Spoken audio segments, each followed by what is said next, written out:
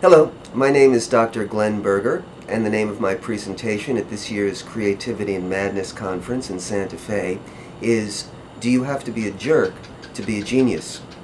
In my 20s, I was a recording engineer and got to work with some of the greatest musical artists of our time. Not only did I get to see these geniuses make amazing music, but I got to see some pretty awful behavior as well. I was there when Bob Dylan tricked the band he'd hired to record his Blood on the Tracks album into playing the wrong song, and when they did, he fired them on the spot. I got to watch a cold Paul Simon severely wound a very, very emotionally fragile and anorectic Karen Carpenter by telling her that her new solo album was a terrible mistake. And I got to watch the writer of one of the most beloved songs of the 70s get arrested and eventually commit suicide after having committed 77 casting couch rapes.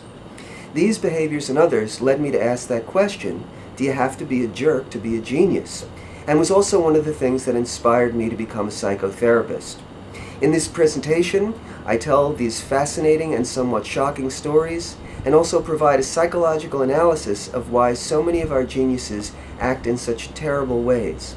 It should be a lot of fun, and I look forward to seeing you this summer at the Creativity and Madness Conference.